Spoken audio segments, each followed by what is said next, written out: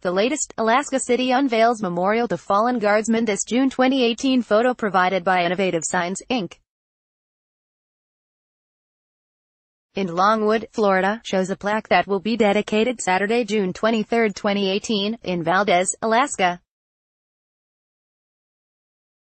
The memorial honors four Alaska Air National Guard members who died in a plane crash while conducting a humanitarian mission following the devastating magnitude 9.2 earthquake, which destroyed Valdez in March 1964. Photo courtesy Innovate Signs, Inc. VAP Anchorage, Alaska, AP, the latest on an Alaska City honoring guardsmen killed in crash after 1964 earthquake, all times local, 1.40 p.m. Four men who died on a humanitarian mission to help rebuild an Alaska town following the second most powerful earthquake ever recorded have been honored in the town near where they died. The city of Valdez, Valdez, Alaska, on Saturday unveiled a memorial to the four Alaska National Guard members who died in plane crash a month after the magnitude 9.2 quake in March 1964. The plane had just delivered then Alaska Governor William Egan and a team of surveyors to the port city on Alaska's southern coast. The plane immediately turned around to deliver the Adjutant General of the Alaska National Guard back to Anchorage.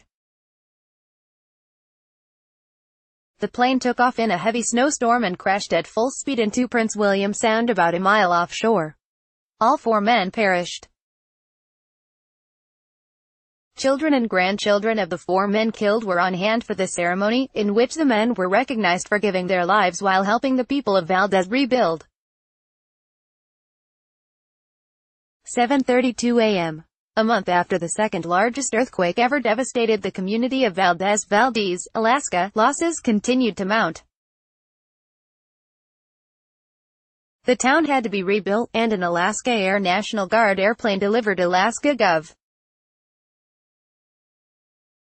William Egan E. Gunn, and a team of surveyors to the port community on Alaska's southern coast on April 25, 1964. The plane immediately returned to Anchorage carrying the Alaska National Guard's Adjutant General and three others. The cargo plane took off in a heavy snowstorm, and crashed full speed into the waters of Prince William Sound three minutes after takeoff, killing everyone on board.